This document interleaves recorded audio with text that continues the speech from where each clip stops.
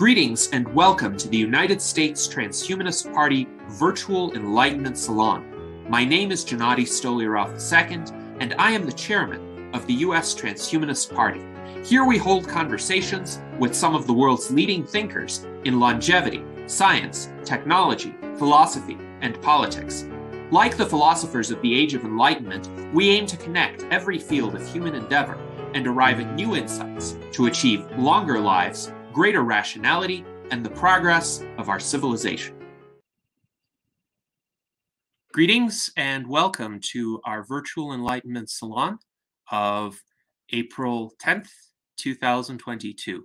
We are pleased to have a fascinating and unique conversation in store for you on cat longevity. Joining us is a distinguished panel of U.S. Transhumanist Party officers and members including our Director of Visual Art, Art Ramon Garcia, our Legislative Director, Jason Geringer, our Director of Longevity Outreach, Ben Ballweg, and our Technology Advisor and Foreign Ambassador in Spain, Dr. Jose Cordero. And our special guest today is Alexandru Ioan Voda, who is a final year Doctor of Philosophy student at the University of Oxford in the United Kingdom, though today he joins us from Romania. He is a transhumanist, a longevity advocate who has worked on longevity science for a decade and a half, and he is a published researcher. Today, he will speak to us about a project that he currently is engaged in regarding cat longevity diagnostics. So, welcome, Alexandru. It's a pleasure to have you join us today. What aspects of cat longevity are you studying, and what can you tell us about this fascinating subject? Thank you for having me first, and um, this is really a pleasure to talk to all of you. Um, um, it, I think the there there are many reasons why cat longevity is is an interesting topic to um, to look into, and why diagnostics are a subtopic of that. They're um, a nice pick. Um, so, firstly, th there are many reasons why you could go into um, pet longevity projects. Um, one of them is that you care about your pets um, obviously, I have a cat. Um, I um, I wish that they'd have a longer lifespan, not just myself. Um, but there's also a lot of other reasons, right? Um, so if you look at uh, most of the startups that are going into longevity, if they're choosing um, the vet space and are sort of asked to justify about it to investors, one of the reasons they uh, the investors may hear is regulatory burden. So one of the things that's pretty difficult with human trials is getting through the approvals by FDA to uh, run the initial trials, um, ongoing regulatory filings even after the drug is approved, and, and so on and so forth. Whereas the veterinary landscape is a lot lighter, and you know there there may be uh, pros and cons to that. So obviously, one cons to that is that because it's less regulated, it's a bit more risky. Um, meaning, when you enroll your pet in in a trial, um, you, you, you, can be slightly less confident about um, how much work has been put in into assuring that um, that drug is safe and um, and sound for the prescription that it's being trialed for. Um, but also, it has a lot of cons which is a lot of pros, which is um, having less regulation means that you can um, quicken the innovation rate, and uh, because the burden that you have restricts not only the budget of the company, restricts also you know a, a, a bunch of um, the iterative things that you you need um, in terms of uh, trials drugs out. So um, with all of that boring stuff out of the way, um, in terms of you know like uh, why why you'd pick cats, there's also some funny reasons why uh, you'd pick cats in terms of um, longevity research. It's because they're longer lived. Um, they chase lasers, um, and Um, also, there's very few companies pursuing anything related to um, non-dog stuff. So if you look at the longevity vet space, you'll see Rejuvenate Bio by George Church and um, and people from his lab. Um, you will see uh, Halioua's um, uh, Cellular Longevity Incorporated company. I think it's Loyal for Dogs. Um, and all of these companies have huge funding, and it's really, um, really great to see that. But at the same time, it sort of um, begs the question of um, why we're avoiding half the um, pet healthcare market. And that's the sort of gap that we're trying to fill. And the interesting thing about diagnostics is um, there are all of these aging clock methods out there, uh, which I'm sure some of you might might be familiar with, and I, I hope you're not annoyed at me for um, patronizing some introductory discussion on it. But um, essentially, aging clocks are a combination of um, markers, um, levels of proteins or or RNAs or DNA methylation and metabolites, anything that can tell you something about the status of the healthcare in some organism. Um, and they're um, uh, they're widely used and accelerating in use as well, mainly because of several reasons, um, including the uh, the fact that um, uh, survival trials are very expensive. So following up um, treated versus non-treated um, groups takes a lot of years and takes a lot of funding, whereas it's slightly easier to look at biomarkers that are um, uh, correlated to something that you're interested in, like longevity or health span or um, uh, the status in the disease that's um, heavily linked to mortality, like um, heart failure and so on. Um, so the interesting thing about um, clocks is there's a huge fight at all times on all topics related to clocks. For example, whether they should be used in trials or not. If you if you just browse Twitter for a while, you will see at least three fights um, every every afternoon between very um, hand people in the fields, and um, I think that's good. That means that there's a lot of innovation go, um, going on. That means there's a lot of um, back and forth on how to do certain things, and maybe there are multiple ways that you could do certain things. And we certainly think that we can do um, better clocks um, in terms of chronological aging um, estimation and um, in terms of mortality estimation and so on and so forth um, in CAT. So um, as a first plugin, um, I I co-founded um, a company called the Cat Health Data Science uh, Corporation. It's uh, currently incorporated in Delaware um, with Alexander Bachita, my um, my awesome co-founder, and we've got a few other people joining us very soon, and we're looking out for investors. We are currently in talks with VitaDAO um, and um, uh, and a bunch of other um, investor panels. Um, and yeah, I think um, I think that's a pretty long um, introduction to it. But uh, for the moment, I think that's that's it. what I can tell you about um, the cat longevity diagnostics. Oh, um, some other additional thing is um, our venture is supposed to be split in two.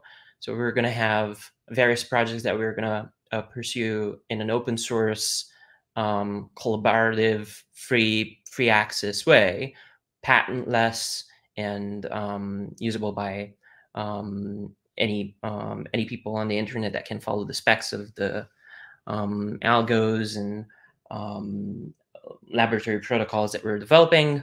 And then there's also going to be a commercial side. So on the non-commercial side, we just got funded uh, through Gitcoin by um, a lot of um, generous, uh, generous um, donors of crypto um, for about 10k worth of um, $10,000 worth of um, sequencing and and and other uh, sort of costs for for a trial to improve um, aging clocks in cats. Um, and obviously, depending on what a panel thinks about this, we can dive into details on um, on the specifics of the clocks or on the company on the commercial side, on um, longevity in general in politics, and um, yeah. Excellent. Well, th thank you, uh, Alexandru, for those introductory remarks. And I've linked here to the page on Gitcoin where essentially you have a description of your project. Would you say this is the most comprehensive source for people to visit if they want to learn more? Or is there another page somewhere where you have even more details or an overview of your plans that you would be able to share? Um, this is definitely the most um, in-depth resource for the open um, open source uh, projects of the company. We are gonna um, we are gonna increase the detail in there as as we go, um, and it's we're gonna update that link as we're gonna participate in further rounds of Gitcoin. Um, but in terms of the commercial side, the only help I can provide is um, telling you that we're doing more than the open source projects. Um, so um, most of the slides that we have are investor oriented and have proprietary stuff on them. But I guess I can I can give you a very short summary on that, maybe like 30 seconds of it. Um, so essentially, on the commercial side, we're interested in um, further developing the clocks, but also um, looking into um, therapies, so things that can modify the clocks um, and can modify the mortality and and also have a few other measurements outside of the clocks in terms of whether they work or not for particular um, prescriptions. So, for example, one uh, prescription that happens in a lot of cats is sarcopenia. 38% roughly um, by the latest research um, is, the, is the rate at which elderly cats suffer of sarcopenia um, mild or severe sarcopenia. So keep in mind, it's not all of the old cats have um, severe sarcopenia, as in they can't move around, but they have mild muscle loss, which can be, um, we hope, mitigated by um, cer certain therapeutic approaches. And the sort of main therapeutic approach we want to go on the commercial side, and this is a differentiator between us and other um, longevity companies in the pet um, uh, pet healthcare area is that we're not seeking to find new aging drugs. So obviously, there's a lot of small molecules out there that modify um, lifespan and health span, from rapamycin to metformin and so on and so forth. Um, the, the the question we're trying to answer on the commercial side of the startup is whether um, specific combinations of uh, known off-patent drugs um, act in synergy. So if they have a positive interaction, say you have a drug that has um, that improves lifespan by three percent and a drug that improves lifespan by five percent. The question here is whether together they improve lifespan not by five percent, not by three percent, but whether they improve the lifespan by twenty percent together, just because they have a positive interaction. So we were trying to find whether there's any high effect size um, so anything between 30, 50, 70% improvement in in various healthcare um, measurements in, in elderly cats. And we want to do that mainly because um, cocktails of unpatented drugs are patentable.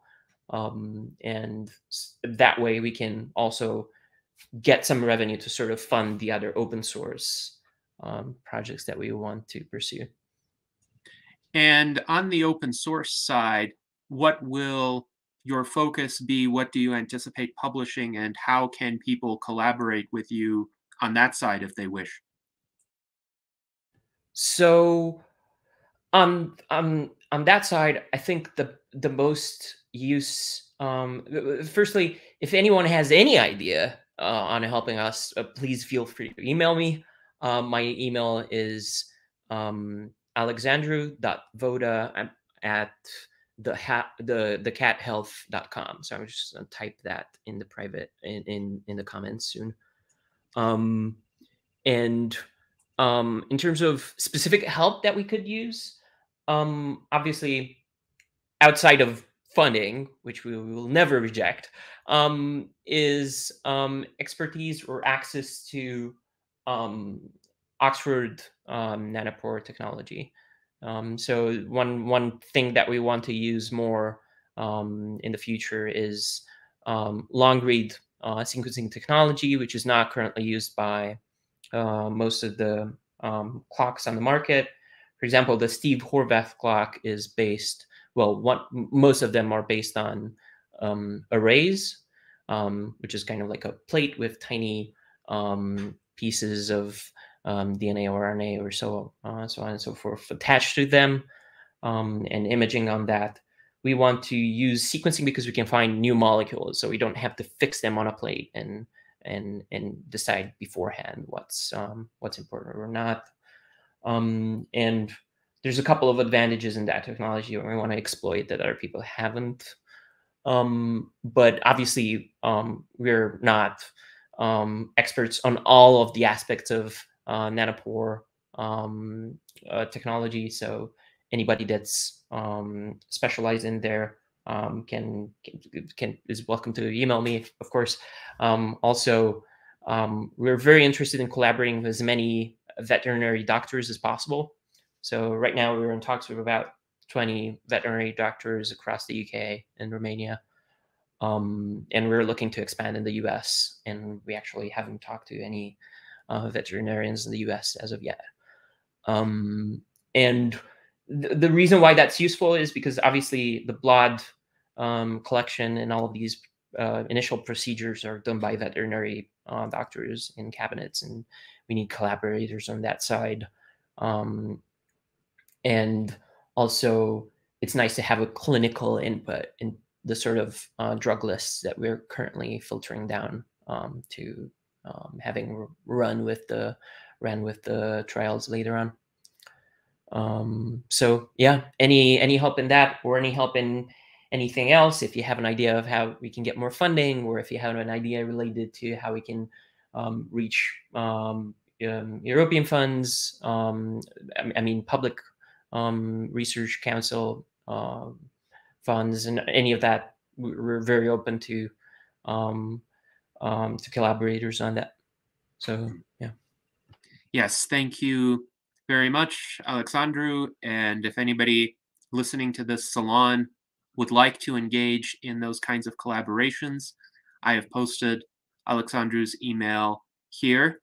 And now for a bit more of a light-hearted interlude, here's a joke from Mike Lazine.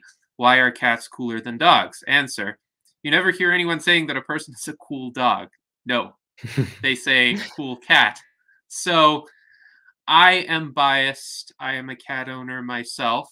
I have two cats who are approaching the age of 12, and I clearly want to maximize their longevity.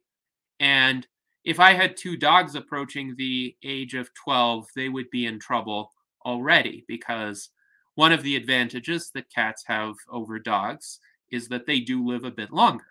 So I'm curious, as a scientist, how would you characterize the differences in longevity between cats and dogs? Now, intuitively, average lifespans for cats are longer. How much longer? And what is the variation in cat lifespans as compared to the variation in dog lifespans that has been observed? So, um, it's very hard to characterize that, mainly because both in dogs and in cats, there's a lot of variation between breeds of cats. That's a, that's the first first thing that comes to mind. Um, even in dogs, if you look at pugs versus um, Great Danes, they have very different um, diseases that they're being afflicted of. Um, most dogs have um, heart failure as as a mortality cause, whereas pugs specifically have more leaning into respiratory diseases. And so you can you can see depending on how evolution shaped um, their bodies and metabolisms, you get very different very different outcomes, average outcomes. Um, in cats, one in, one interesting factoid is that um, actually a lot of cats die in um, in car accidents and and trauma uh, traumatic events like falling from a tree or stuff like that. Um, you you might have heard you know and and seen with your own eyes that cats always land on four paws. Um, but um, actually, the, the, the, they they expose themselves to way more mechanical risk than than dogs tend to do. Um, so that's that's that's a very tragic thing, and it happens to a lot of people. Um, a friend of mine just lost um, his cat about um, several days ago. So also they fit more places than dogs, which is again another reason why they have uh, mechanical um, mechanical risk on um, on lifespan. But um, overall, um, I think the major causes of uh, disease, as far as um, medical statistics journal, uh, veterinary statistics journals go, are CKD, um, chronic kidney disease is a very big thing in cats, and happens a lot with age. And then all of the other things that you see in humans and in dogs as well. So like heart failure, cancer, um, and and a bunch more like neurodegenerative diseases and so on and so forth. Um, I think the the, the the, the there are big um, factors in lifespan, including you know like how wealthy the owner is. Um, that makes a very big difference in the environment that the cat is um, uh, brought in. In um, it makes a whole difference in in their diet and and lifestyle and activity, and access to um, veterinary care. Um, obviously, that's one of the issues that the startups uh, is trying to estimate when we're trying to um, reach investors and sort of give them a realistic scenario about what the potential um, revenues could be is how much people can spend on their cats because obviously most people prioritize their own healthcare over their cats. Healthcare is not um, super affordable even if you live in um, you know in a in a state healthcare uh, sort of area. Um, and um, I think the average spending on healthcare in, in, in cats is about uh, $200 a year in the United States or, or something less, 150, something around that area. Um, whereas in other countries, it's significantly less. It, it gets closer to $50. So that makes a huge difference in, in how best you can treat uh, fractures that they suffered during trauma, uh, which a lot of cats go through. I think um, probably like 20% of the cats or 15% of the cats um, suffer of um, mechanical trauma like injuries, uh, strained muscles, um, broken uh, broken ribs, broken um, fractured um, legs, and so on. Um, I think it'd be best to cite a paper on this. Um, I have a favorite one, which I uh, keep citing. It has a really nice table. So I'm uh, going to mute myself just for a minute to seek it, and then I'm going to post it.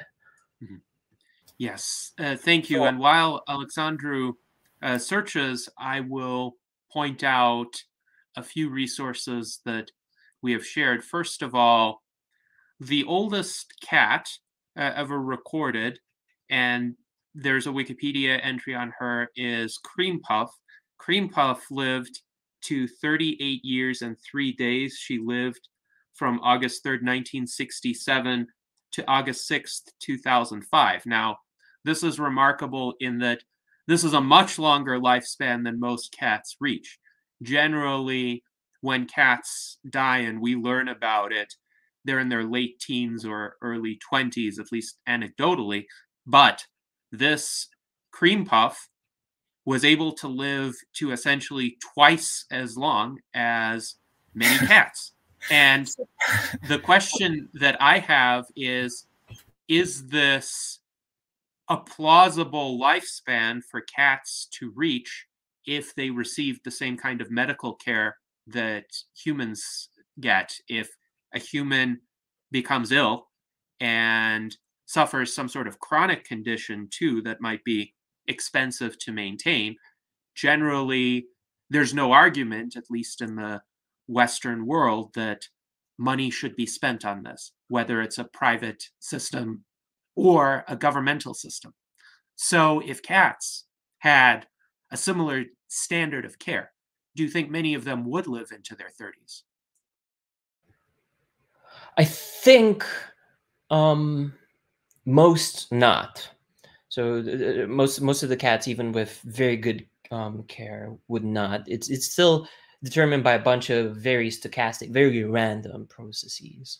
Um, it, it also depends on an individual's genetics, right? Like even in humans, um, where uh, people have this uh, programmed aging versus non-programmed aging fight at all times on Twitter and and in papers and everywhere. Um, it's it's it's easy to forget that things are sometimes in the middle.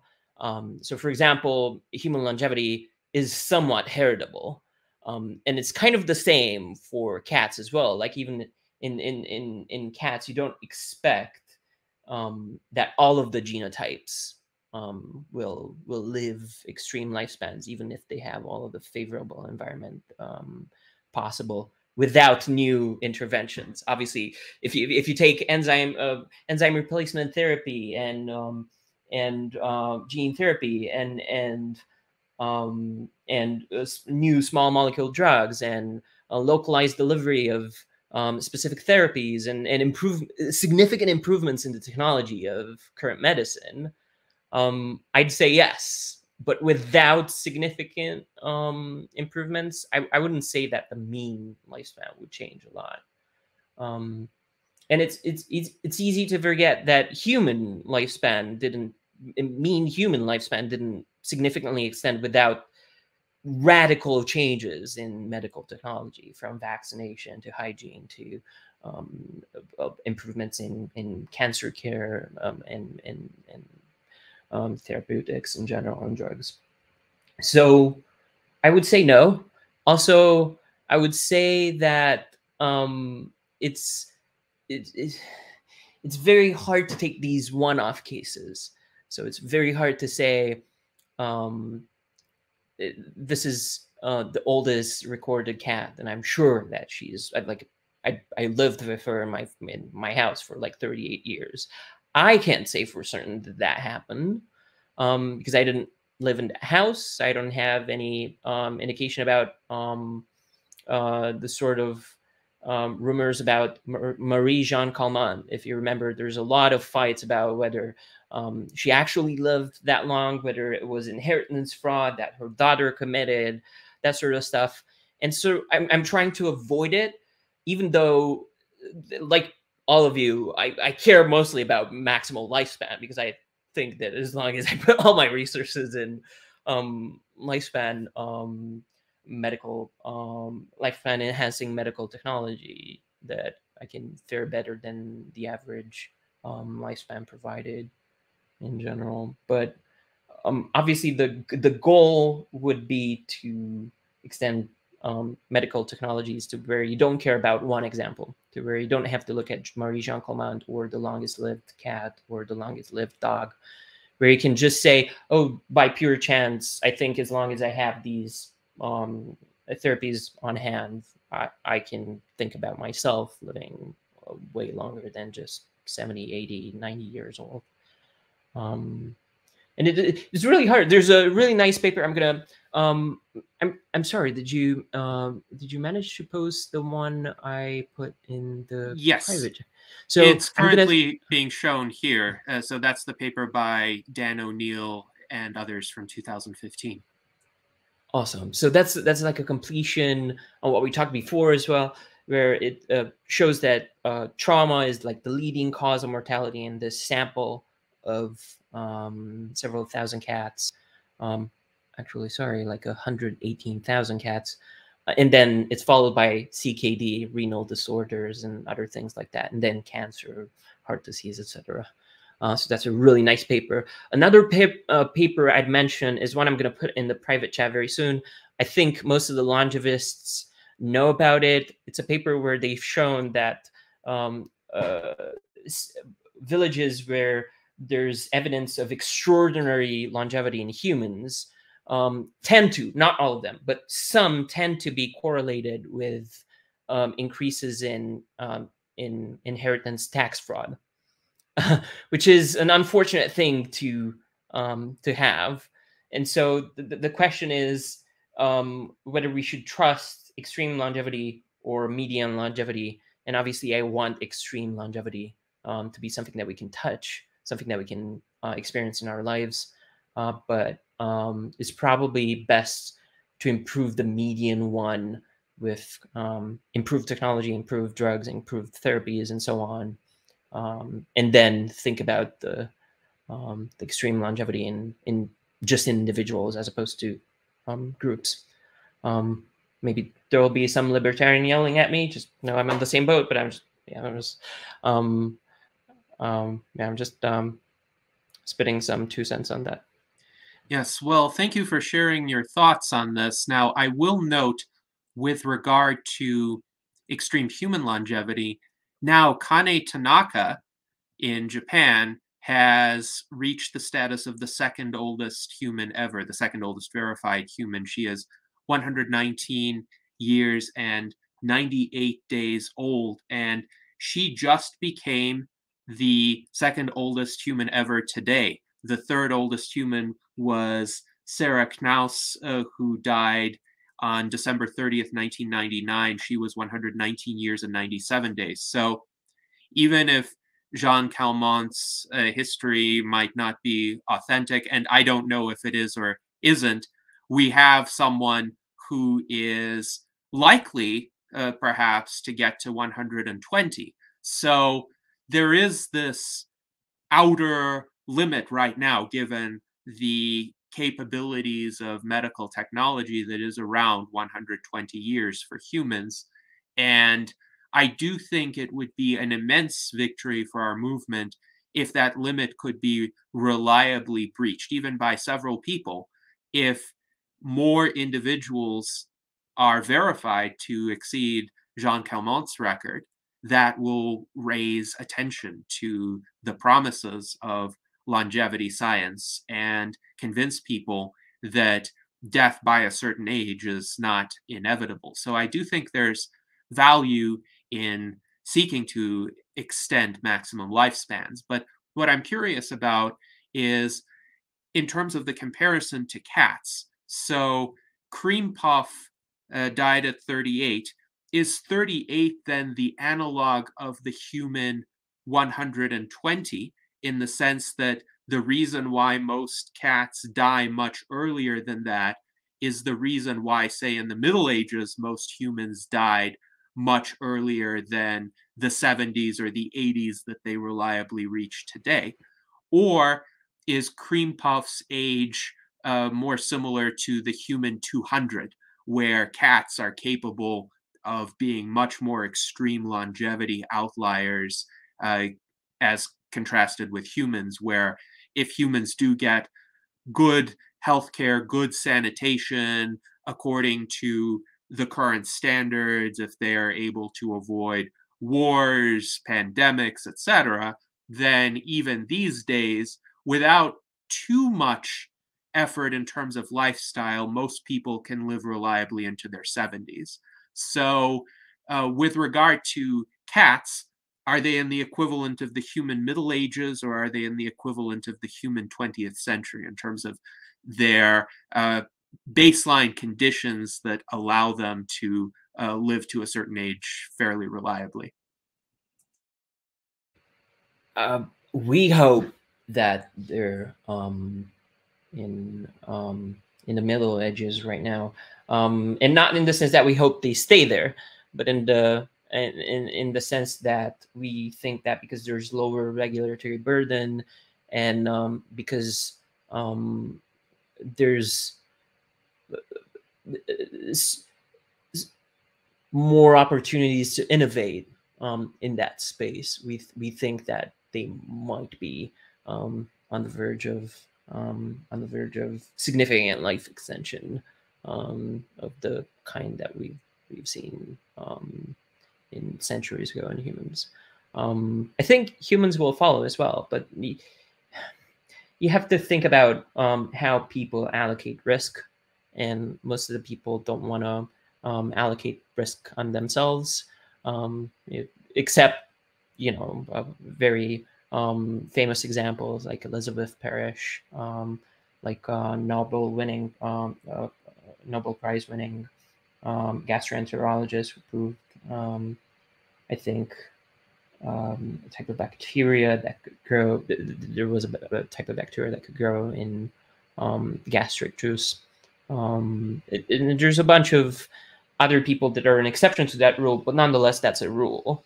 And I think that's a rule for anybody who isn't a biohacker. Um, and most of the people aren't biohackers. Um, and so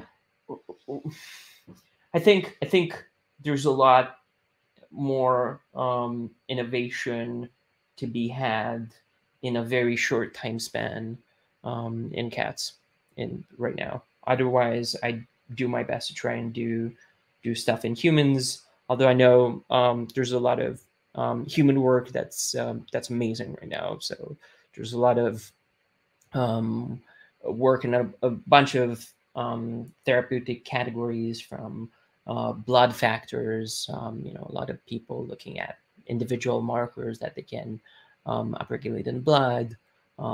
To people that in, in, in in into cell therapies, into gene therapies, into um, a bunch of these um, things that that they're slowly carrying in humans over.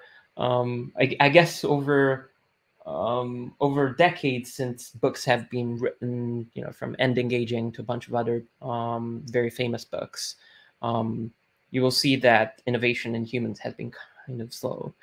And a part of the reason for that is that risk allocation is very different in, humans. We, we tend to um, we tend to take way less of a risk with people with um, our own kind and and with um, essentially people that live that, that can live very long, right? Whereas with cats, when you get a 16 year old cat that has sarcopenia and CKD, um, the worst case scenario is she dies a few uh, months earlier. Um, and so risk allocation in people's minds is very different. And I think that's going to be the driver for why dogs and cats are going to um, have a lot of um, medical innovation. And the really interesting thing there, um, is um, you, you, know that saying that if you're a mouse, we have very good news for you. Um, in the, one of the reasons why a lot of mouse uh, research is failing is because the, the, the sample sizes for experiments are very um, small and the mice are very uniform and they live in kind of like the same conditions. That's for good reasons because you want to have reproducibility. You want to see in the same conditions, the same genotype, you get the same effect. But the question in for for drugs in humans and a lot more complex animals is how can you find drugs that have effect, large effects, no matter the environmental conditions or no matter the genotype. And I think you're going to see that a lot in cats and dogs, mainly because um, the, the risk allocation is much higher, um, and because um, uh, because the treatments are ultimately carried in non-uniform animals or um, coming from a wide variety of backgrounds and so you're going to only see um, and only focus on the effects that actually are reproducible no matter the conditions. Um, yeah. Um, and also yes. i'm going to post this paper on inheritance fraud versus uh, extreme longevity. Um, yes. yeah. and i will share that link shortly. I'm curious if you think that it would be feasible along the lines that you are studying to develop treatments that could be disseminated at least to a significant portion of cat owners, such that, say, by 2030, a lot of house cats could live to age 25, for instance, fairly reliably. So, obviously, we want to scale up as fast as possible. I don't think we can make promises as to how long the cats will live, because obviously some therapies work better for some things, right? Like if if you're going to develop some um, uh, some novel methods of treating CKD, uh, age-related um, um, chronic kidney disorders, um, then that's obviously not going to extend the lifespans of cats that don't have that type of disease. And that, I, I think that's the ticking um, bomb with um, aging, which is like a lot of people are trying to say, "Oh, I'm just going to extend lifespan with this drug, or I'm going to do that with that therapy." And really, I think even when you look at very general treatments like um, rapamycin metformin and so on, really you're targeting an ageotype. I can't remember what paper it was that uh, coined this term, but it's a really nice term that I think more people should use. Ageotype means a subtype of aging um, in terms of what diseases you get, what sort of um, metabolism wreckings are going around, or what sort of if you're a programmed aging sort of believer, um, which you may or may not be, I don't, I, I, I don't know, um, it, it, it, what sort of sub part of the clock is um, getting um, getting its uh, wind back. So, I, th I think um, we, we can't promise, you know, uh, cats are going to live 30 or more by 2030. And I, I don't want to do that sort of operating rate prediction uh, because it's really hard to hold without data. And one of the things that I care a lot about is showing people some work related to longevity that they can reproduce and that they can try on their own 100 cat sample size trial and they're going to get the same result. And I don't think I can right now say that there's any therapy that's going to take for sure cats to 30 years old or so. But if we see anything that extends lifespan even by uh, 40 or 30%, then we're going to pursue that. And obviously, anything that's lower than that, we're not interested um, because it's really widely available in terms of um, in terms of general like more, more uh, multi ageotype therapies, kind of like um, um, kind of like aging retardants. Um, but I I would certainly hope that we can extend the lifespan of cats by a lot. And if we see like if, if we have reliable data in our trials of combinations of um, known aging modulators to see if they have positive interactions, you know, where you have a 3% effect, but 5% effect not being equal to 8% or just 5% or something like that, but equal to 30% or more. I would certainly hope that at least some of the cats from thousands of cats being treated with that um, therapy from there on, I would certainly hope that some of them will live very extreme lifespans. I would hope that they reach 40 um, and, and, you know, like um, have an amazing, never before seen thing. But the thing about that is you cannot predict it. You just have to work on it um, and um, kind of like how um, if you asked um, Professor Cynthia Kenyon uh, whether she would have found um, uh, two mutations in DAF2 and DAF16 or whatever other genes back then that would double the lifespan of C. elegans, then before that finding, she'd be like, I, I don't know. I really don't want to promise anything. Or maybe she would be all like, um, I I don't think that that's possible. Um, but uh, it's, it's it's the the thing that we can say is that there uh, reproducible life extensions by um, specific small molecule drugs, specific um, enzyme replacement therapies, and so on and so forth. And then the optimistic scenario is combinations of those in various doses are going to um, increase lifespan by a lot. The medium scenario is like they're going to extend lifespan by some amount, and then like the worst case scenario is actually they work on the same thing at all times, and there's no um, lifespan extension. In which case, um, everyone who's been all like, "Oh, I told you, cryonics was the lead," or um, you know, mind mapping and um, and um, transcendence is is really the uh, really the goal for longevity would be very happy about this, but I'd be very sad about it because that would be my favorite scenario where you can essentially extend lifespan by a lot. Um, yeah, so I think, yeah, that that's about it. Yes, and absolutely, that would be my favorite scenario as well. I would rather not have this biological existence be interrupted because I do have various concerns, as I've expressed in prior virtual enlightenment salons, about whether one's I-ness, that which makes one the same individual, would be perpetuated with these other techniques, whereas with biological life extension, it clearly would be. Now, uh, I did post the link to the paper that you mentioned by Saul Justin Newman entitled Supercentenarians and the Oldest Old are concentrated into regions with no birth certificates and short lifespans. And I just wanted to get your thoughts on this, Alexandru, before we move on to the rest of the panel. And that is with regard to common claims made about the blue zones, uh, for instance, that people there get plenty of fresh air and outdoor activity, and they have robust social networks and they have good dietary habits.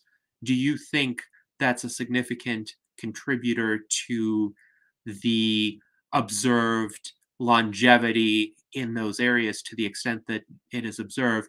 Or do you think a lot of the observed longevity could be explained more by these kinds of statistical artifacts or correlations with other activity we don't necessarily want to see, like uh, the uh, potential to forge a birth certificate? I think it's a mix.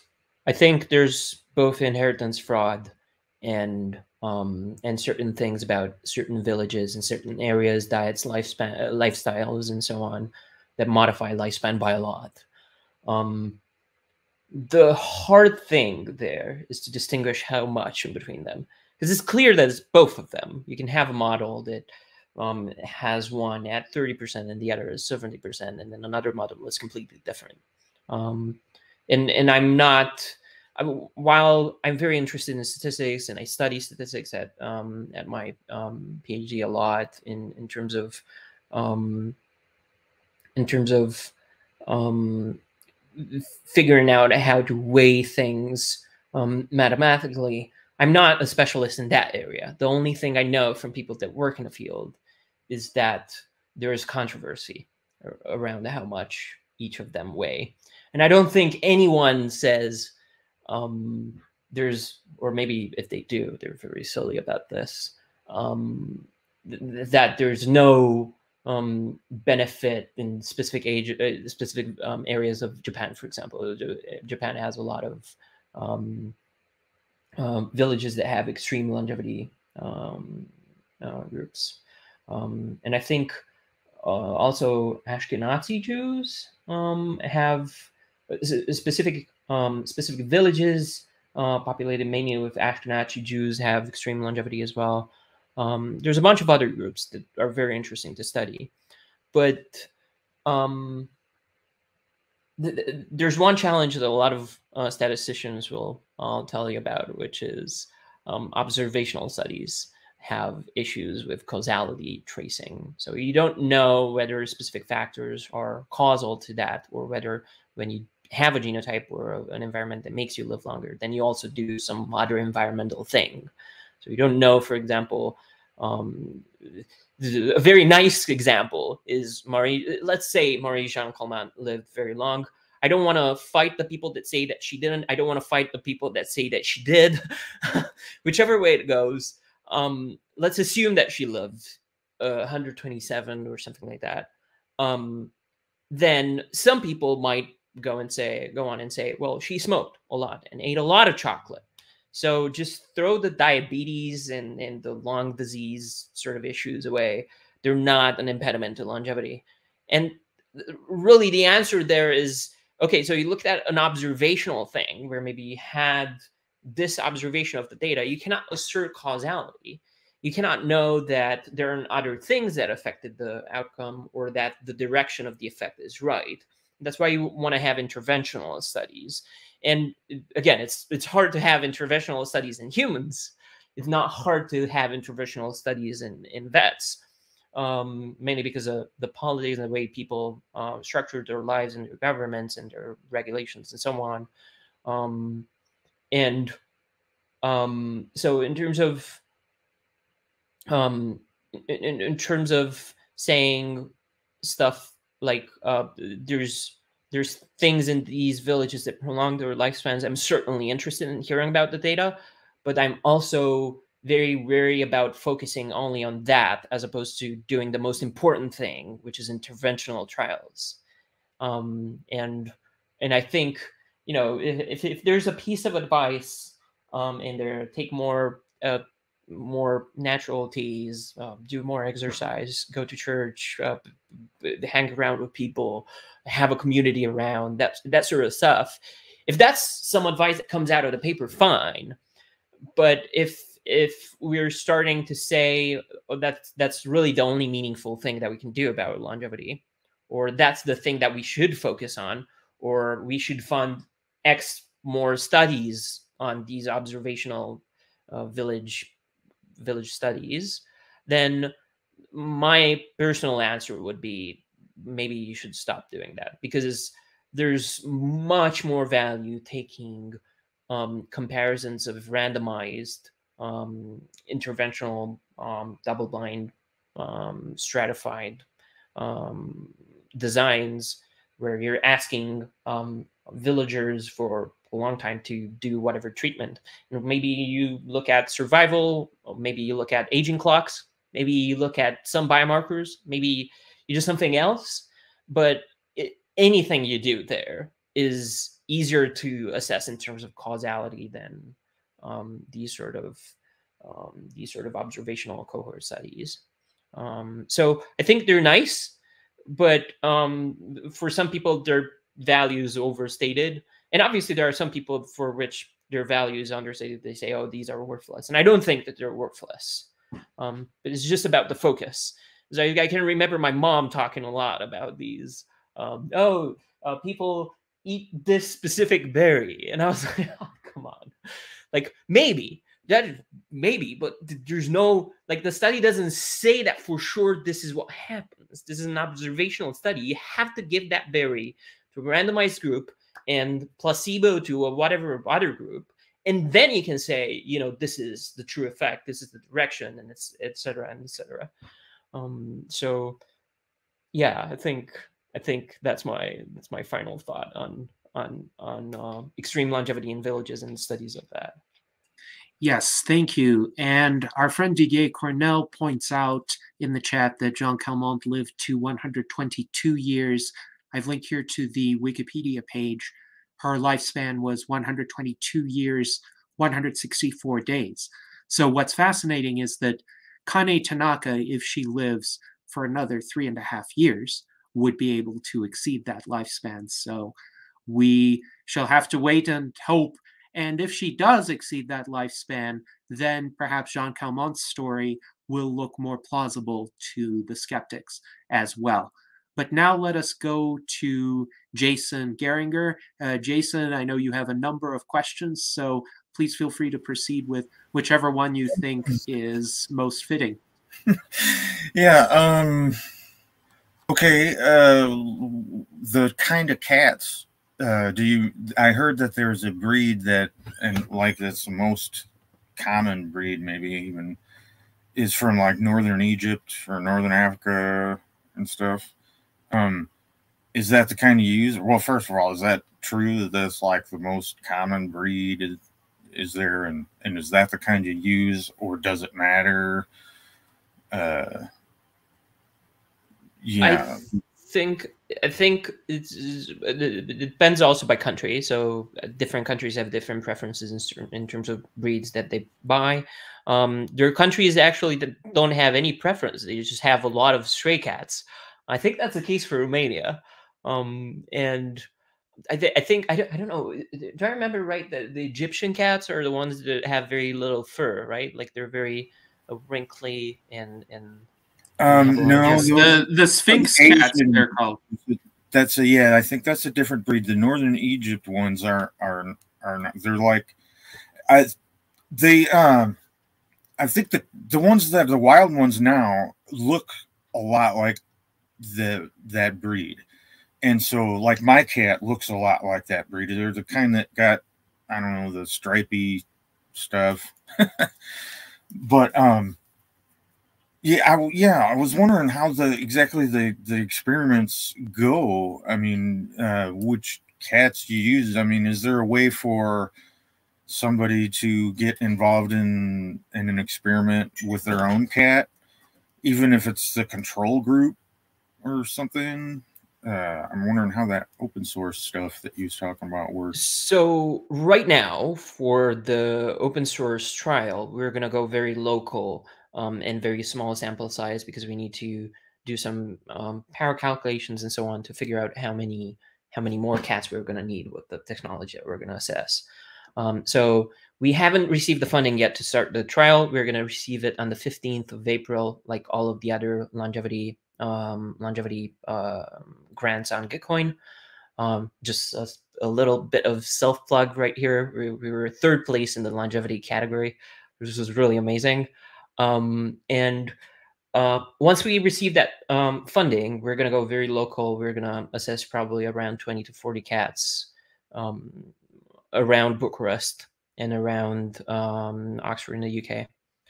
But as soon as the small scale trials are um, over, which I expect should be in about two or three months, at least the first phases of the project, then we're going to extend.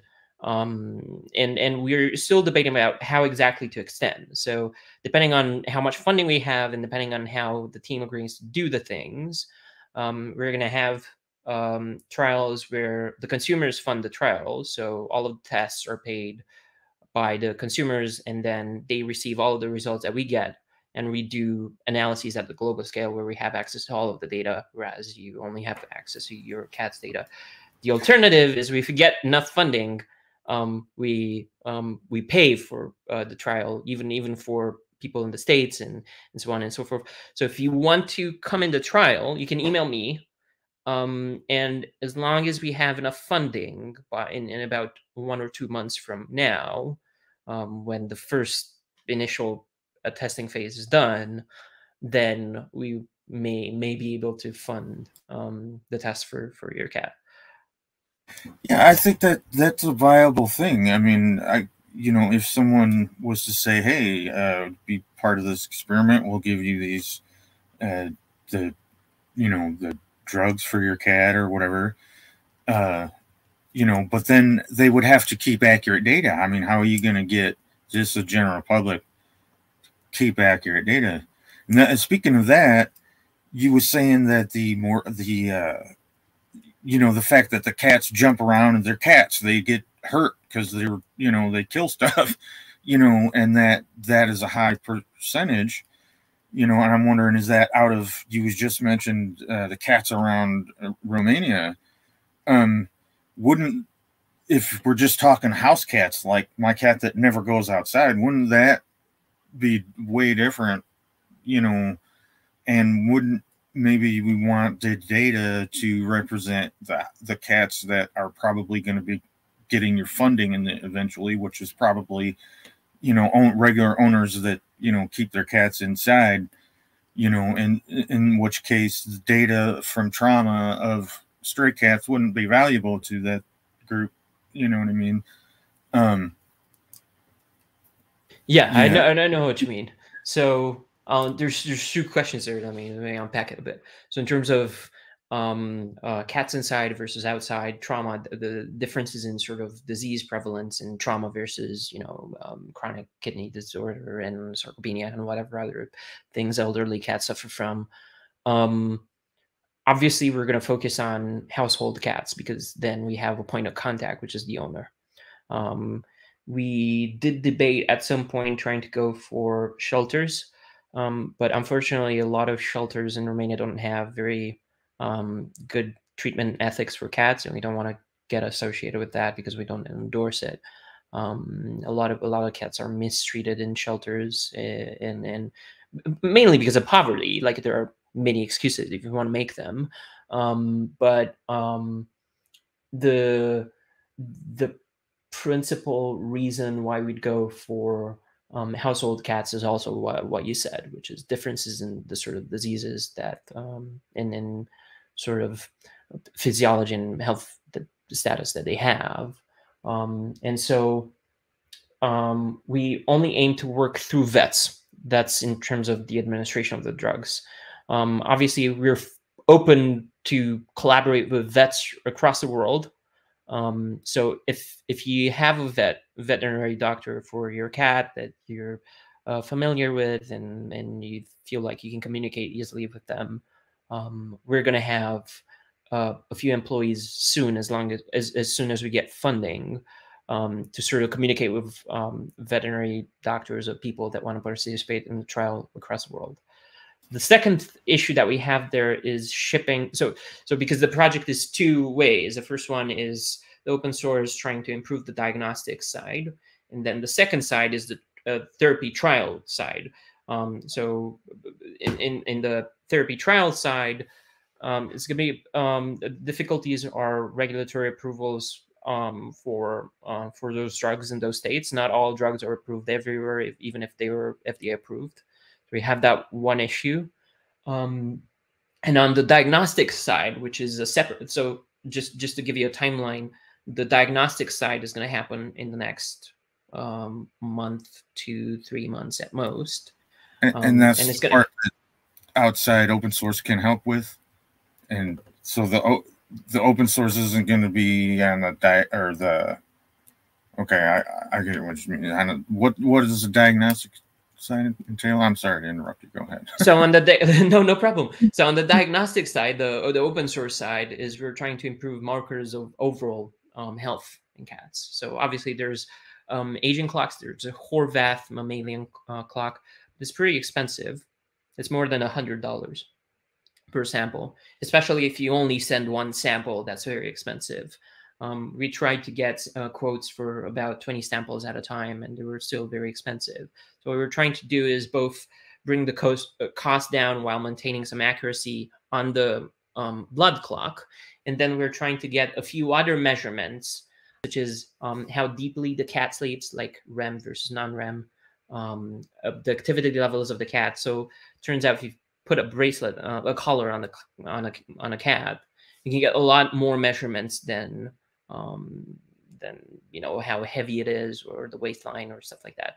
And the aim that we are we are putting out with the open source project is combining all of these different health measurements into one. Um, and most of the aging clocks really only take into account uh, at most some extra blood markers, like if you have high albumin or, or something like that. Um, and so we want to take into account um, not just the classical BMI, sex, etc. things. Um, we want to take into account activity levels, patterns of sleep, a bunch of other markers that we can do machine learning on and sort of develop um, develop better, more accurate clocks. Um, and good. then those collars would be accurate. You wouldn't have to be depending on the owner to give you accurate information. You could get exactly, yeah. exactly. And the blood clock is the same, um, is, as in we don't depend on on the uh, laboratory uh, prowess of of the owners. Um, but on the um, on the treatment side, which is going to be the commercial thing, obviously we still need our collaborators and help and so on. So you, you, you can email us um, if you want to participate in the trials. And as I said, depending on funding, we might be able to do a thing where we pay the therapies for the cats, and that's probably the biggest aim for for the for the diagnostics. It, it's still in debate, but for for um, for the therapies, we're definitely trying to subsidize everything. Um, but um, it's still going to have to go through a vet because as you said, it's it's highly uh, difficult to figure out if the owner had time on whatever evening, whenever the drugs had to be administered. So you need to get a very reliable measurement of that. And I'm not saying the vets are definitely more reliable than pet owners, because a lot of pet owners are very reliable, and there are some unreliable vets out there. But it's just a, a, a an average rate that we are trying to improve there, um, and that's why we're gonna have to go with vets. So if you want to collaborate with us in the in the um, therapy trials, which I think are going to start in a few months from now, they're not going to start now on the fifth or on the fifteenth of April. Um, and if, if if you want to participate in that in a few months, email me now or then um, and and um, we can discuss, you know, finding a, a vet in your area that that you're. I'm I'm curious with. if you know Kent Kemmish or if you've seen our salon with Kent Kemmish. I heard you mention something about uh, needing more uh, tech or something, uh, you know, about nanopore, and he has a uh, this console that he's been working on about nanopore, and uh, he does some sim or was wanting to do some similar projects on mice, you know, this could be possibly, uh, you know, maybe room for collaboration there.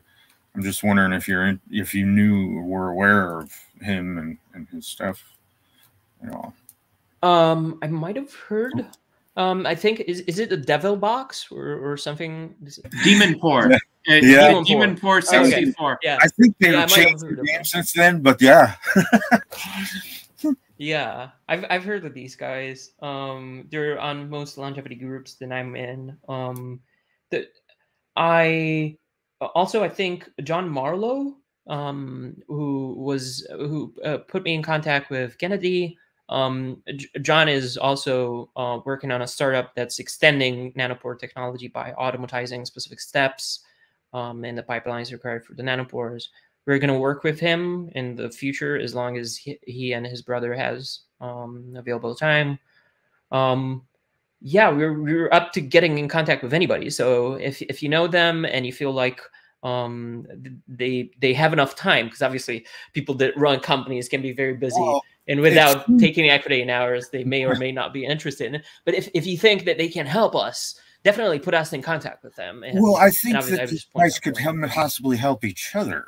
Is you know what I'm yeah. thinking. Not only just like him help you, but I mean he's almost kind of doing the same thing in a way with, but on a smaller scale.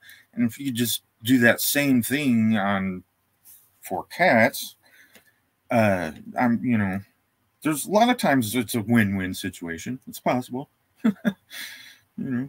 And for those who have not watched it yet, I've linked to our virtual enlightenment salon with Kent Kemmish, which we held on June 6th, 2021. Quite an extensive conversation, two hours and 48 minutes. So please check it out if you have not done so. We have some interesting feedback from our audience as well with regard to the diagnostic pet collars. Uh, Alan Crowley writes collars would be like a Fitbit for the cats. And Daniel Twet says uh, he could see pet Fitbits becoming a hot seller. So maybe people would be interested in purchasing diagnostic uh, measuring devices for their cats. Now, we also had an interesting comment from Mike Lazine, who observes that domestic cats live far longer than jungle cats or cats like lions. And he wonders what causes that, especially because lions are bigger and most jungle cats are bigger as well and generally size positively correlates with longevity. So why do these relatively small house cats live longer? Is it just that they are in more favorable circumstances where they don't have to deal with very hostile environments at times or is there more to it than that? I think it, you you summarize it um summarize what I'm going to say very well in the last last couple of words. So I think it's a lot in the stress side. Obviously, cats don't have to hunt buffaloes, and um, well, buffaloes, not buffalo. I'm making stuff up now, but um, it's it's um, it's a bit on the stress side. So it's it's an observed fact that um, animals that don't have natural predators tend to live longer um, because they don't have to reproduce as fast. They can, um, there's this um, germline soma, uh, disposable soma theory of aging, um, or essentially, uh, which is still discussed. It's evolutionary biologists disagree on it still, but the, the, the essential gist of it is that if you're not under evolutionary pressure from predators and so on and so forth, then you don't have to reproduce faster at younger ages and so to, for the species to survive and so what happens is you expend more more energy um, more uh, meta- metabolic effort um, into properly structuring your soma Um, and I don't know if that's um, that's true or not. I'm just I'm just giving a very uneducated opinion on this, but I think it's mostly stress, and I think it's also access to healthcare. So um, wild animals will very often eat infected meat. Um, uh, will eat very um, you know unhealthy things just to survive whereas cats don't have to do that um, and you know they have access to um, there's there, there's actually a lot of debate here as well because people are saying sometimes on on um, in, in, in research papers that maybe cats are better um, better off if they eat raw meat or or um, infected um, whatever um, but or whether uh, it's just the dry grains that are bad for their health or not.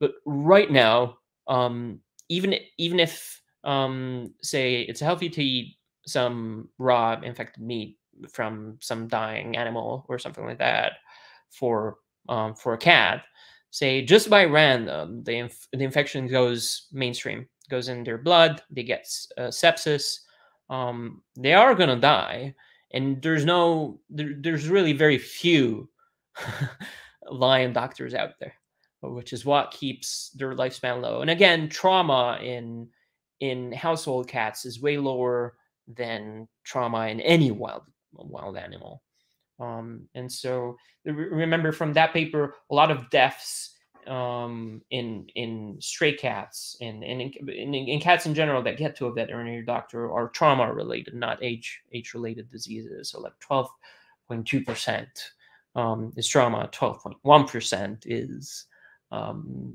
CKD and other, um, and then downstream from there, um, less and less other age related diseases. So cumulatively, aging is definitely a huge cause in cats. And the reason for that is they have access to antibiotics. They don't have to hunt um, for a living. And also, they don't have poachers, I, I think, at least not in my neighborhood. And um, yeah, that's about it. Mm-hmm. Yes, thank you. And indeed, you articulated some of the reasons why I am a strong advocate of keeping cats indoors, and my two cats are purely indoor cats, so they do not get exposed to the trauma that they might encounter if they were to hunt outside. Uh, besides, I live in an area where there are some predators such as coyotes or hawks that I see on quite a frequent basis. And cats, uh, let's say, do not have high chances uh, when they encounter those kinds of predators. And I cannot imagine that eating infected raw meat would be a net positive for longevity. Uh, I am generally in favor of the hypothesis that foods that are designed specifically with the health of an animal in mind would at least on average, be uh, more likely to contribute to their longevity or uh, prevent their premature death than uh, just whatever random piece of meat they might find in the wild. Now, we have a question from Jose Cordeiro who wonders Are rapamycin treatments on your agenda for cat longevity trials? Yes, they are. I think rapamycin is one of the high effect size drugs out there. I mean, high effect as it goes, right? Like nothing is high effect enough, um, really, because um, it doesn't provide. I think we all, all of us agree that rapamycin is not a, a universal panacea that um, that really solves aging at all. But it's it's a high effect size drug, um, and it's reproducible um, as far as meta analyses and and and and um, research papers go. And yeah, there it's it's on the radar. The question is not just um, whether we select individual drugs, like say, oh, we pick this one and we say this is my favorite drug, this is my favorite pathway. The really interesting question for uh, cat therapy, uh, cat therapies that we're gonna we're pitching investors right now, is what combination of them works best. And um, you might have seen some of these uh, approaches uh, across the last one or two years or three years. You might have seen uh, Steve Horvath uh, labs. Um, it wasn't just Horvath lab. Um, I think recombinant growth hormone plus metformin uh, that reversed um, aging clocks by two years or so. Um, you might have seen an, an uh, increased um, thymic volume, right? And uh, th- the thymus is a big uh, problem with aging. Uh, there's actually a lot of people at the institute I, I work in in Oxford. Right now in Oxford, I don't work um, uh, in, in, this moment in my PhD on age-related um, diseases, but a lot of people are working on thymic involution there at the Kennedy Institute of Rheumatology. Um, and you might have seen um, George Church's uh, Rejuvenate Bio um, uh, gene therapy, which targets um, Klotho and two other genes, I believe. And so you see companies pursuing um, combos of, um, of, of aging targets. But the thing that we're really interested in is scaling this up a lot. So we want to um, to uh, take a lot of treatment groups and a lot of control groups and compare um, real permutations of drugs that we suspect from previous computational analyses that they act in different pathways. So if you take a database like DrugAge made by the Joao Pedro um, Magalhaes, I, I, I, don't know if I'm pronouncing this right, from Liverpool. He's a very um, top um, biogerontology, bioinformatics uh, researcher. That database has about 2,000 um, um, or, or no, sorry, 1,095 drugs um, that modify um, lifespan in various papers, and it's about 2,000 papers. Um, and if you take all of those 1,000 drugs approximately, and you try to run them through a pathway analysis, um, gene ontology, disease ontology, so on, these sort of um, computational um, uh, guesses at how at how the um, drugs um, manage to have an effect, um, you will see that a lot of them act through the same pathways. But the question we're trying to answer, and I'm, I'm sure a lot of other people are trying to answer as well, um, is whether um, or should at least um, answer is whether they act in what's the best list of drugs that act in different pathways and so the then you have two filters. You have the filter that they have a high effect size, and then you have the filter that they have different pathways that they act in. And then there are other IND, you know, patent enabling um, uh, filters that you can apply to sort of uh, uh, get to a list of, say, six drugs that you want to trial. And then from at least in our design, which we're going to carry in a few months from now, as soon as the aging clock uh, part of our project is finished, um, you want to look at combinations of two and three out of those six, right? And if you have combinations of two out of six and combinations of three out of six, all of the possible combinations, all of the possible permutations, um, you have about 35 treatment groups and that's huge right? Like if, you think if you think about the cl classical trial uh, if you have one drug that you're trying to find the effect of you usually have a thousand subjects in the treatment group and 1000 subjects in the control arm. And if you think about 35,000 cats that you have to trial that's a huge budget that probably nobody's going to give us but the really nice thing about this is most of these drugs have passed phase one trials, which means they're safe enough to use at specific doses um, in the animals that they've been trialed on. So we are only filtering for ones that are trialed in um, at least one species of felines. Um, and so the next question is, okay, well, what what do you do about? Uh, okay, maybe you don't have to do as much safety trialing on those thousand, uh, 35,000 cats, right? Well, how do you lower the sample size? Because that's uh, really or or decrease the budget per cat. And then our answer to that is that statistics is really um, about finding the ac- adequate sample size to demonstrate an uh, an effect of a specific size.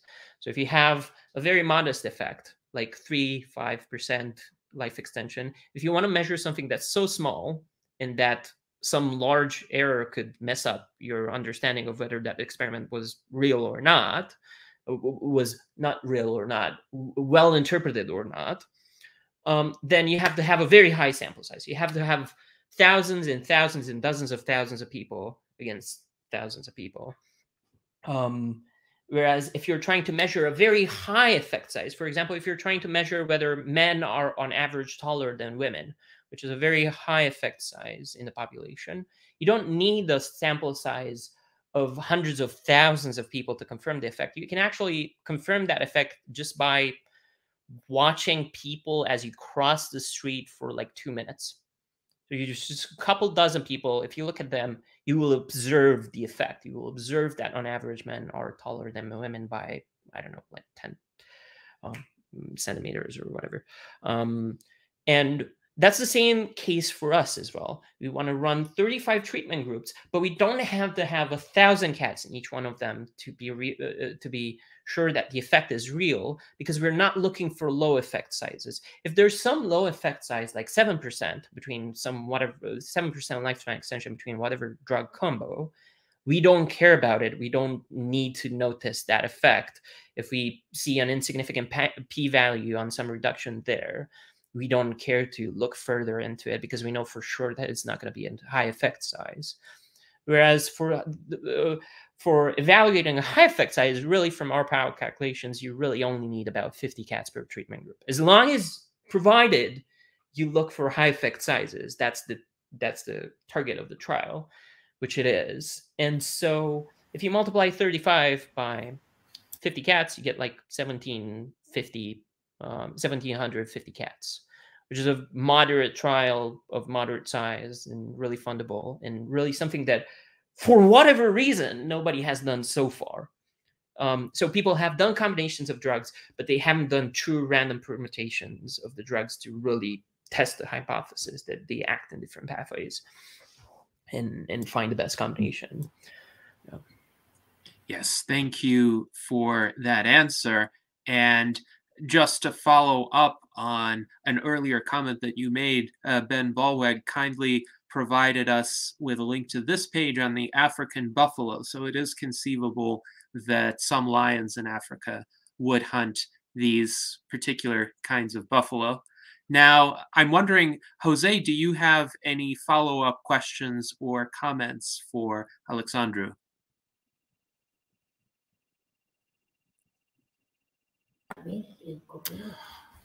Um, thank you very much, Alexandru. Uh, we are looking forward to seeing the results. So what is the time frame of what you expect to achieve? Um, we are talking about uh, two years, five years, how long, please? Way shorter than that. We um, at least on uh, at least on the initial um, um plans we uh, initial roadmap we have, we want to finish the um, aging clock study in the next three, four months or so. Um, and right after we want to start um, the trials, conditional on getting a funding. And that's what I'm struggling with in the past few weeks. I've been trying to reach a lot of people, a lot of investors to sort of get funding for this that we can start as soon as possible. The nice thing about the study is that um, it's based on um, biomarkers. So we're going to try to find combinations of drugs that um, improve sarcopenia in elderly cats. And we're also going to measure their aging clocks so that we can see is this also um, a nice therapy for aging in general, maybe or maybe not.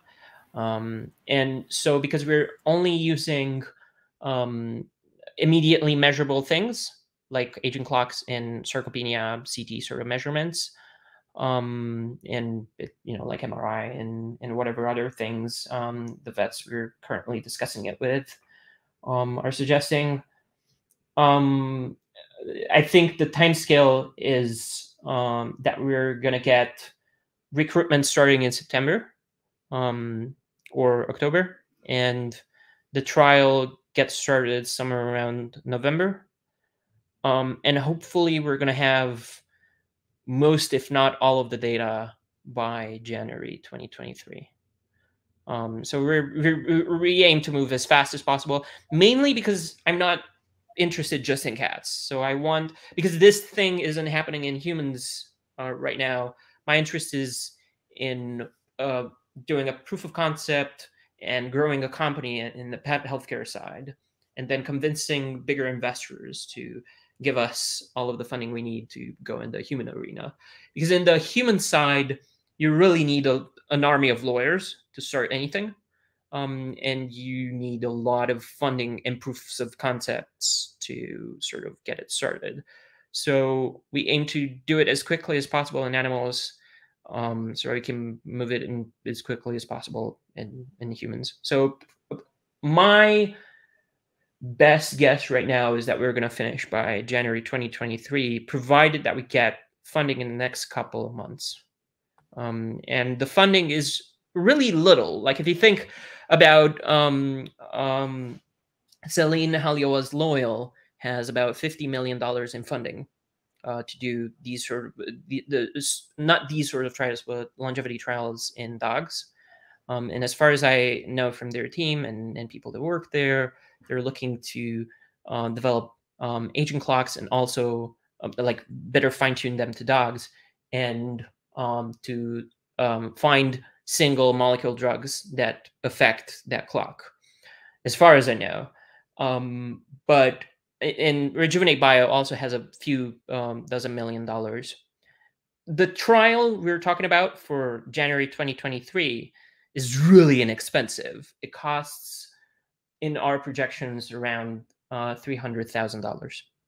And the main reason why we're going to move that fast is the fact that we don't need to employ people to do the study we can act through um, centralized re research organizations, CROs, that you can pay to uh, provide reagents and specific experiments that you need for um, for your trial. So you're only the uh, planner of the trial, but you're not carrying it yourself. You're not employing people to do that.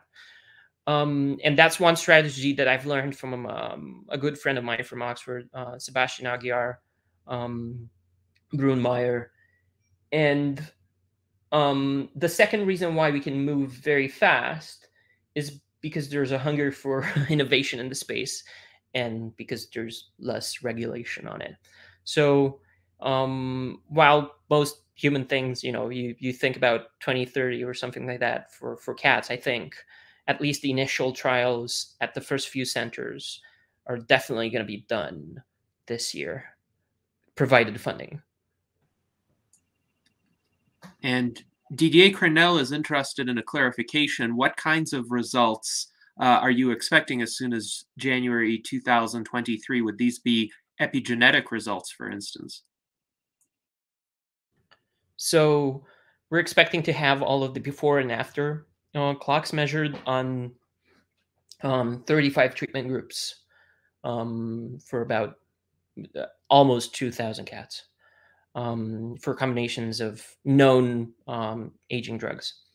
So right now the drug list isn't decided. Again, if you have advice on how how to best design this trial, we're not um, we're not um, inflexible people. So email me, um, email my co-founder, um, and um, email any of us and uh, come with advice about what what um, what drugs we we best choose in the final list, but we're mainly going by bioinformatic approaches and biochemical approaches to sort of filter down the list into what final six or seven drugs we're going to pick.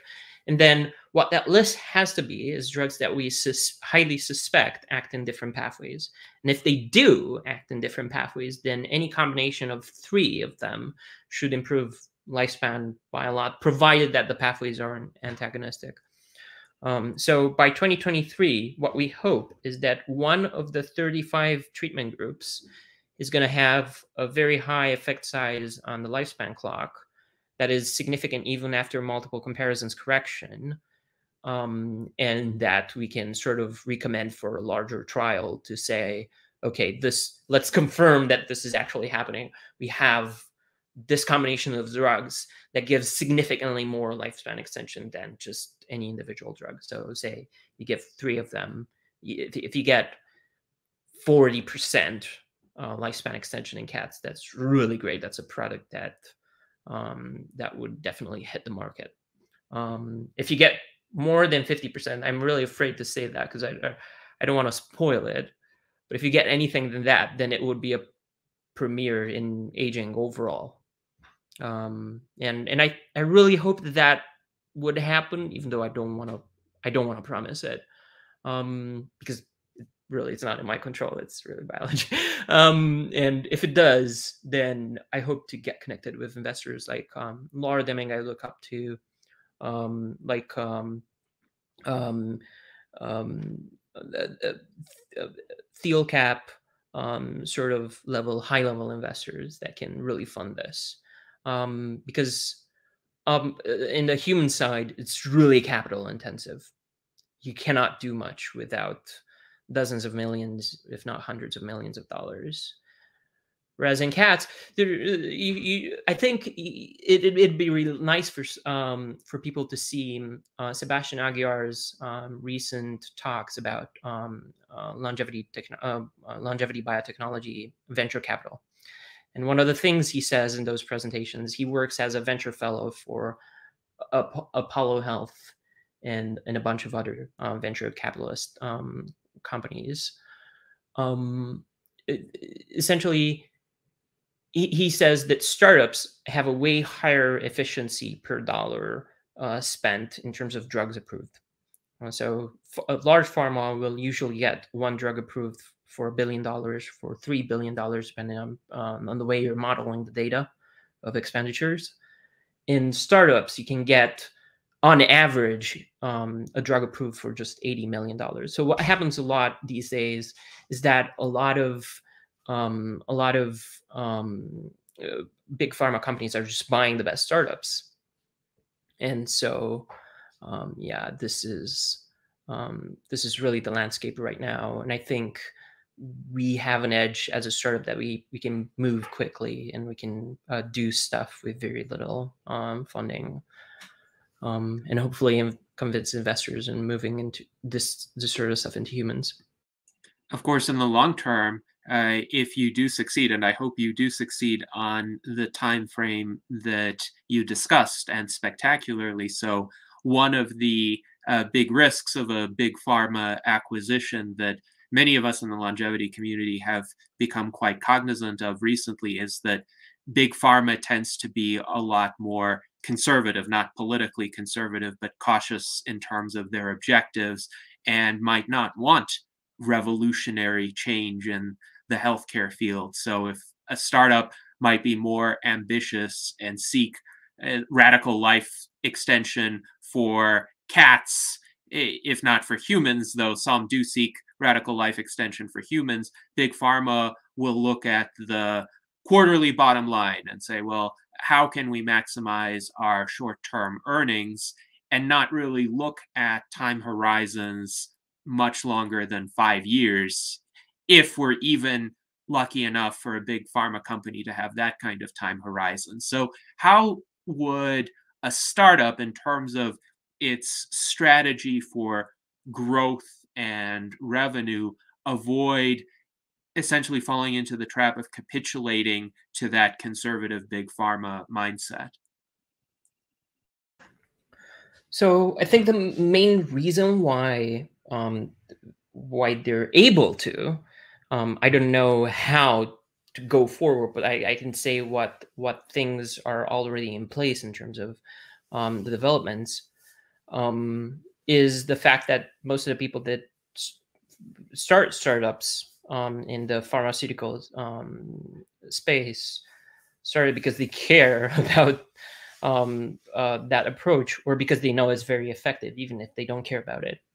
Um, whereas in the pharma space, you have all of the incentives and lack of the incentives of any corporation, really. And I'm very young. I'm not um, born um, into a billionaire family, so I don't know much about um, corporations really at that level.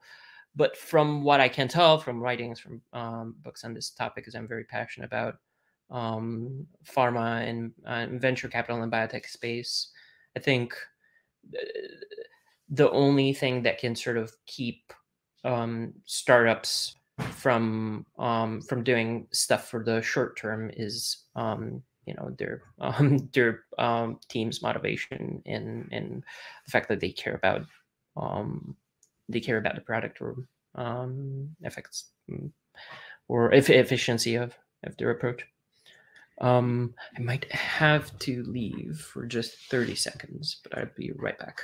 All right, that is fine. And while uh, Alexandru is away for a moment, I would like to highlight a few comments that were made. Mike Lasine agrees with my statements. He writes Big Pharma cares more about putting band aids on ailments and similar kinds of approaches than cures for anything. And Jason Mallory writes that Kaiser Hospitals uh, is actively avoiding AI diagnostic tools.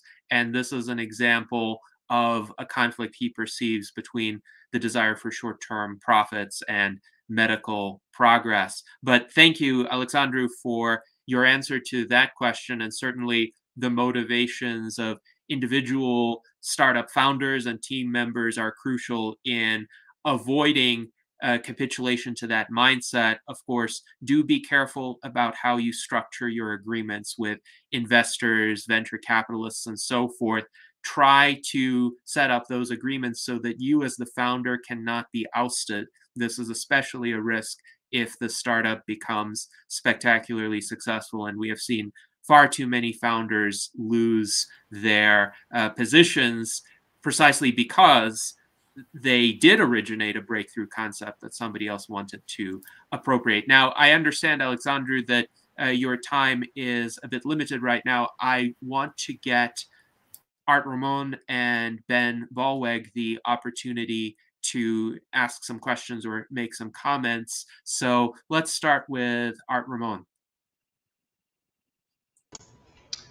Uh, yes. Do you anticipate any problems with uh, animal rights groups like PETA, you know, trying to argue that, uh, you know, cats are sentient beings and they're not consenting to becoming, you know, chemically modified organisms. And do you anticipate any problems with these cats getting loose and becoming feral and becoming, you know, just a grave, uh, damaging invasive species uh, to native bird populations? And if PETA doesn't convince anyone to, you know, uh, you know, recognize cats as sentient beings, wouldn't it make sense to sterilize the longevity cats so they don't become a problem as a invasive species? I think to the last part of your question, um, I think that's that's uh, really it's really hard to figure out how much of that is because because really this is a, U.S. transhumanist party discussion. Maybe we can bring a bit of politics into this. I think it's it's it's really interesting to think about how much of that is a negative externality that has to be mitigated by some centralized authority, or how much of it is something that has to be managed at the local level, or how much of that is just freedoms of individuals that you can't um, can insurmount with with just power, um, governmental power. So I think it's it's a it's a really hard debate and it's very political and and and it's really um, a thing where I'd like to uh, get my popcorn and watch a bunch of minarchists and and libertarians fight socialists and communists and centrists fighting both of them and uh, I, I would love to see that fight um, i would probably even pay money to see it um, but I wouldn't give an answer um, because my own opinion fluctuates as um, most people's. Um, and also, I don't like I don't want to fix it in time and say, oh, someone can point to this and say, oh, Alex is this on the spectrum. Um, and also, um, I, I I think it's a serious debate and I, I can't really participate seriously in it because I'm not a scholar of politics, even though I'm very interested in it. Um, and really, in terms of in, in terms of castrating cats, whether they're uh, humans or not, actually, I think most humans don't care if cats are people or not, whether they have rights or not. They just don't want you. They, they just don't want people in general to be, you know, like mistreating them. Um, physically, right? Like beating a cat, something like that's unacceptable to most people, and probably rightfully so. Um, but um, then in terms of uh, castration, that's definitely um, something that's highly debated, whether it's voluntary or not. Um, I think it's an interesting way of thinking about um, driving the dynamics of predators and in, in, negative externalities like um, like um, ecology. And cats are definitely a big threat to um, to birds in general um, and to um, diversity in general, since birds drive some of the um, other ecological dynamics in in the area. Um, but um, how that should be managed, I have no idea, um, really, or at least I don't want to pinpoint it. Um, on the other hand side, talking about PETA specifically, um, again, I don't want to pinpoint uh, an opinion on PETA, but I just want to make it obvious to everyone that's watching this that um, obviously, as all organizations, PETA is doing both good and bad things, right? Like you, you can single out Bernie for saying uh, something about Castro. Oh, uh, Castro did something good, right? Or, or something like that.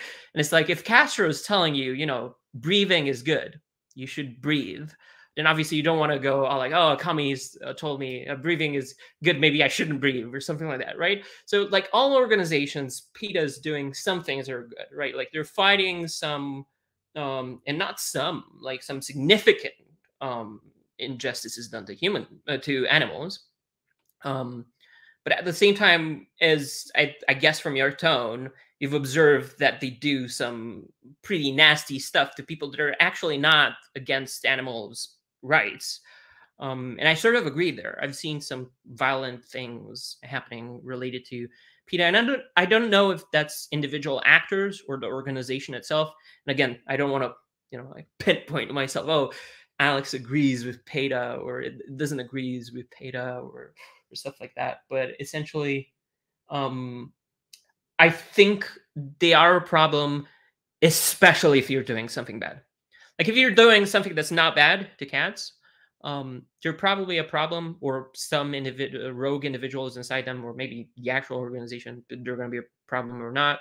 But if you do something bad, it's definitely going to be a problem. So there's been uh, news recently about um, uh, federal funding for whatever experiments where cats were killed at the end of the experiment.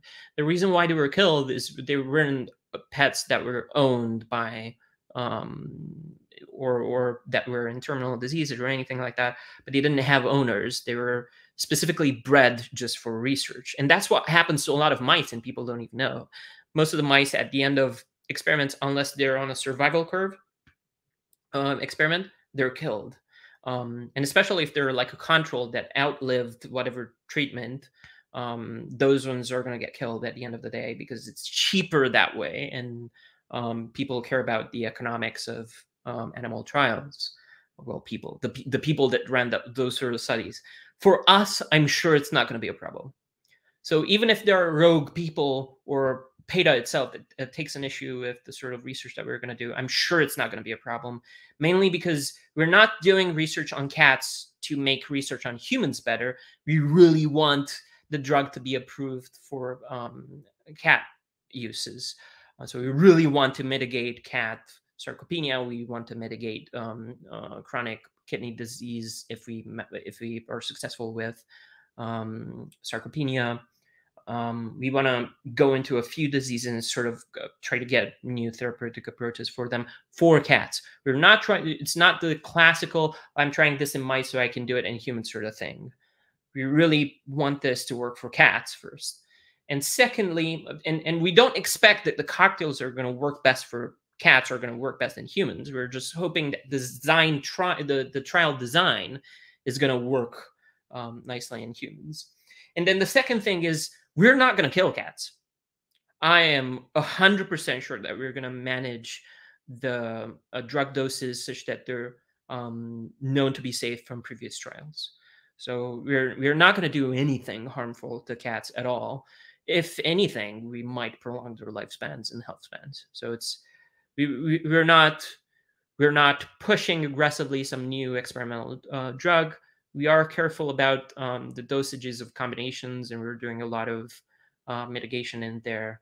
Um, and what once it starts, and um, our plans are completely non-harmful and are not for selfish reasons. Well, some selfish reasons, but not. That's not the main driver of it, right? so, so how Um, so- quickly would the benefits of the drugs uh, wear off if it were to escape and become viral? We don't know. We, we have to we have to see that in the data.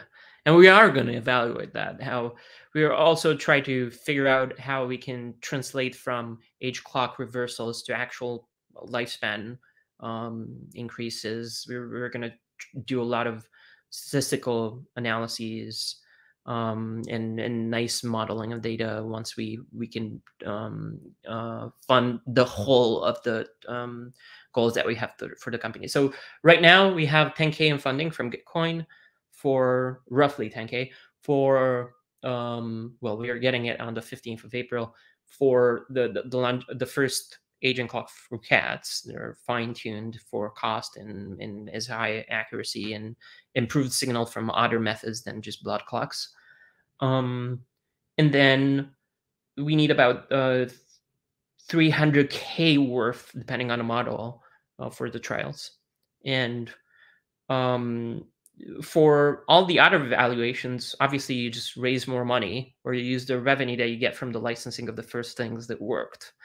Um, and so, depending on what we were going to try to evaluate, and one of the things that we were going to try to evaluate is how fast it wears off. Um, um, I think that's uh, how fast it wears off is definitely not going to be a part of the data that we're trying to generate by January 2023. So it's going to be a later uh, time point in terms of that.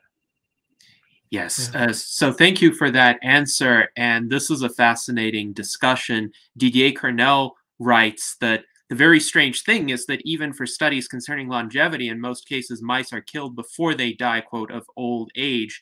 And the reason that is sometimes given is to better be able to examine the animals. But really, when we are investigating the impact of particular treatments or regimens on longevity, the best practice, in my view, should be to let the mice live for as long as possible because uh, one might be surprised, including uh, from the control group as well, as to how long these mice can live. But I don't think anybody would be able to beat Andre Bartke's uh, longevity record for his uh, genetically engineered dwarf mice that almost lived to five years, unless uh, they were to let the mice survive for as long as they would survive after the official completion of the experiment. Now, I want to give Ben Ballweg the opportunity to ask his question as well. Uh, I want to clarify. I guess I thought before today that we were going to be talking about why you were developing a test for cat diagnostics, and it seems like the goal is more to test uh, multi-treatment therapy for cats. Uh, so if that's the goal, uh, can you go into why you need to develop your own cat longevity clock? Uh, is it a cost issue versus Horvath's, or tell me more there? There's multiple things there. So I, I'm going to start with the last part of the question because that's that's a really interesting one. So uh, most of the clocks are, are actually very expensive. Um, uh, the, the, I'm not. I, I try not to uh, cite specific uh, um, that were given to us just because they're personalized to each um, provider and requester and so on. But um, most of them are above hundred dollars a clock. So if you have to clock something twice, some some uh, some cat twice, you get a, a, above two hundred dollars per cat in terms of just just a uh, just the primary endpoint, right? So or the secondary endpoint, whichever way you designed the study um, which is already more than most therapies. So just the readout of whether your therapy worked is more expensive than your therapy, which is very, um, it's not, it's ill advised, I think. Um, and obviously, it's it's it's ill advised in the context of where you can improve that. Obviously, if you can improve that, that's fine. It's still cheaper than a survival trial. Um, so a survival trial will probably cost in the thousands of dollars depending on how you design it. Um, and the the reason why we're trying to um, do this uh, cheaper longevity clock is because we want an open source clock as cheap as possible and accurate as possible, as accurate as possible. And there are very few ones like that. It, actually, none of that, except a very recent one that came, I think, a few months back, uh, called TimeSeq, and it's made by um, in collaboration with David Sinclair's lab, I think. And the idea there was essentially that you could get the same, or at least almost almost the same signal just by uh, reading less um, DNA methylation molecules. So they're doing low depth um, bisulfite sequencing essentially. And they're using a bunch of advances that have been um, made at that point with dealing with sparse data.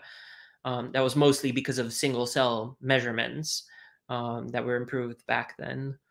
Um, and I work with single cell um, sequencing technology at the institute I'm at right now, that I'm graduating with from in a few months um, at the University of Oxford, and um, th that definitely sparked my imagination as to how low the costs can go.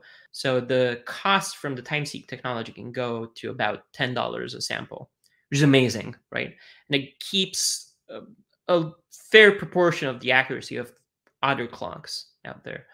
Now, there's definitely disagreements on among statisticians and among people that design aging clocks whether that's appropriate. I'm not sure if um, uh, Professor Morgan Levine, which I the work of which I admire, if Professor Stephen Horvath agree with that sort of strategy. I sort of think it's interesting, and I think it's we ought to pursue it.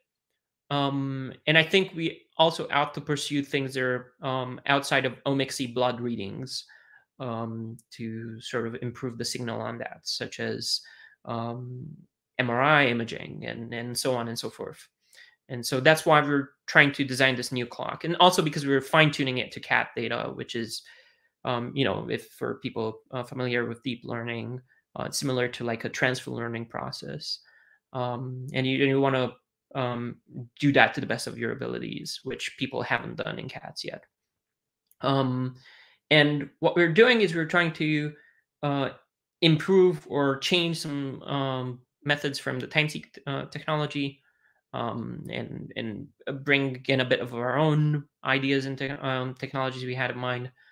Um, and also, um, we're very interested in using it for, um, as, you, as you said, combinatorial uh, drug trials, mainly because even though the primary endpoint of those combinatory um, uh, drug trials is going to be something very simple and classical, like um, a clinician's evaluation of the degree of sarcopenia in a cat, um, which is usually done with um, imaging of the muscles or um, BMI combined with some uh, body fat percentage measurement or, or something like, like that.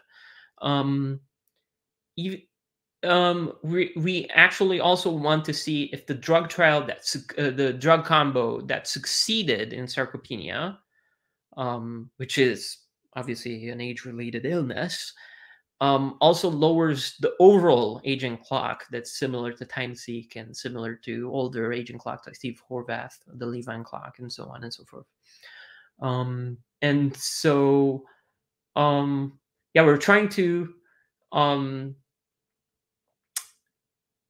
I don't know how this translates from Romanian to English. I think hit two bunnies with a stone. It's very primitive, um, but and very raw. And now definitely PETA's going to go after me. But um, so in it, the Western world, they hit birds, and in Romania, they hit rabbits. Interesting. Yeah, I think I don't know. It's uh, maybe I'm making maybe I'm making stuff up right now, but yeah. Uh, de por cu singură piatră? Yeah, I'm probably that. Um, I don't even I don't even know if that's that's maybe yeah. but um, essentially, that's the reason why we we do the clocks so that we can a um, improve things that are already used by for for other purposes, not just combinatorial drug purposes, uh, um, uh, drug trials but also for the combinatorial drug trials so that we can um, see whether so it, it, it, it could perfectly be the case they have a combination of drugs that works very well against sarcopenia, but doesn't really prolong lifespan. So that's why, as opposed to only having a primary endpoint where we're looking at the muscle mass of the cat, we also try to have a very good measurement of longevity that's not as expensive and long um, long taking as um, survival studies, but mm-hmm. um, but efficient and accurate and uh, affordable. All right. Well, thank you very much, uh, Alexandru, for your uh, time today and for the insights that you've shared. Uh, now, this is a fascinating conversation, and hopefully, we can continue it in the future, especially as your research gets further along. But now, our time for our virtual enlightenment salon has come to an end. So, thank you everyone for watching. Thank you to our panel and our audience. And until next time, every Sunday at 1 p.m. Pacific time, 4 p.m. Eastern time, live long and prosper. Live